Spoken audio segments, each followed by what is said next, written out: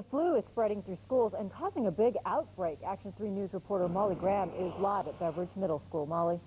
Nearly a quarter of the students who go here weren't here on Monday because of the flu, and there are 12 other Omaha schools with more than 10% of the kids out sick.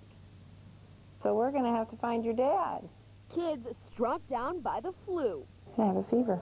100 degree and higher temps are sweeping through schools. This was a record for me in my five years. Marilyn Hansen's the nurse at Prairie Winds Elementary and says one out of every eight of her kids were sick on Monday. Monday was our bad day, and we had 90 out, and we have a population of 730. And two days later, 50 kids still out sick. Cold drink, Grandma? How about root beer? But the flu hasn't caused the schools to close its doors or put a halt on kids packing in on buses. Come on, get on. A sub for the school's health services, because even the head is out sick with the flu, says it's everywhere, and closing schools won't help.